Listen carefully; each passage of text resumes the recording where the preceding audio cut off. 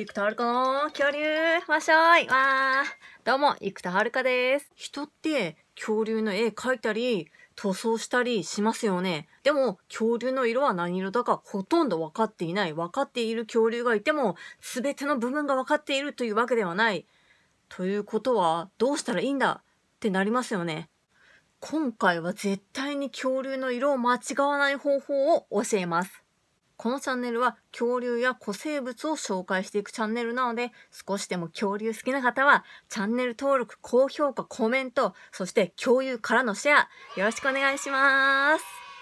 さて、絶対に恐竜の色を間違わない方法。もう、ひらめいた方はいますかねボレアルペルタとかアンキオルニスとか、もうここの色はこうだって分かってるとこなら、まあその通りにすればいいじゃないですか。でも他の部分とか他の恐竜とかやっぱ分かってない部分ってあるわけなんですね。そこをどうしたらいいか。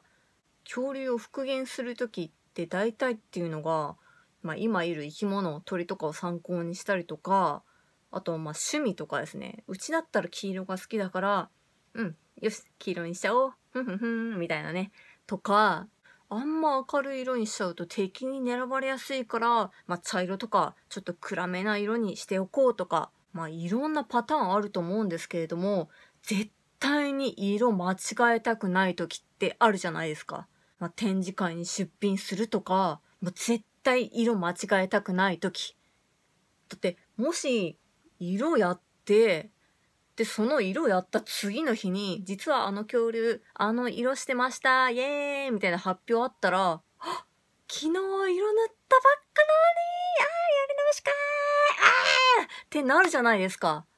先天性白皮症とどのつまり、アルビノ設定にしちゃえばいいんですよ。生まれつき体内のメラニン色素を生成する能力がなかったり、まあ、極端に少なかったりするのがアルビノなんですけれどもどんな動物でもアルビノの個体って出るんですよ。まあすっごく少ないんですけどね。人間だったら多分2万人に1人とかあわかんないですよ、まあ、ちゃんと調べてないですけどそれぐらいの確率で出るんですよね。だからアルビノ設定にしちゃえば絶対間違えることないんですよね。もし色が分かったとしてもいや自分のアルビノだからん？みたいにしちゃえば、もう問題ないですよね。ステゴサウルスの場合だったら、こう背中の板が、そこに血管が通ってるので、まあちょっとピンクにしてあげたりとか、まあ、あと目も赤にして、まあそれぐらい色つけてあげるのもいいですね。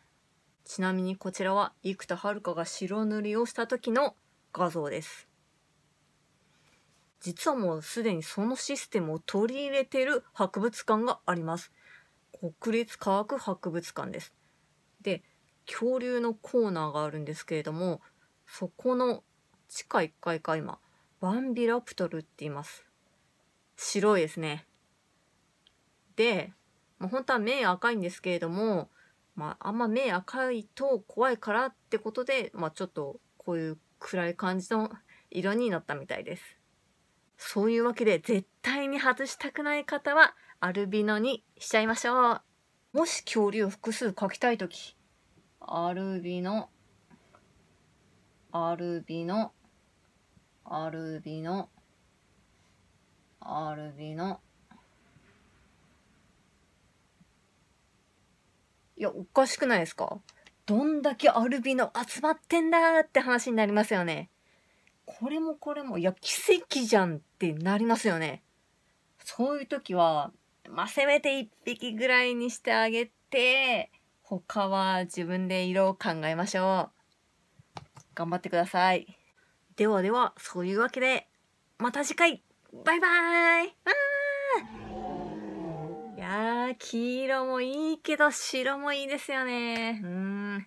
ちなみに、生田遥の肌は、まあ、その辺の人間とかよりは白い方なんですけれどもちなみに化粧品とかは何使ってるかっていうと朝も夜もどっちもオールインワンジェルで朝のこっちメンズ用あ、まあ、朝って決まってないんですけどメンズ用なんですけれどもレディース用もあって成分変わんなかったんですね。でこっちの方がプッシュで使いやすかったんでこっち使ってます。夜は夜でこれほんとね、効果がすごい肌が生き返るやつです。美肌の人とかね、好きなんで、皆さんも美肌にぜひなっていただけたらいいと思います。では、バイバーイ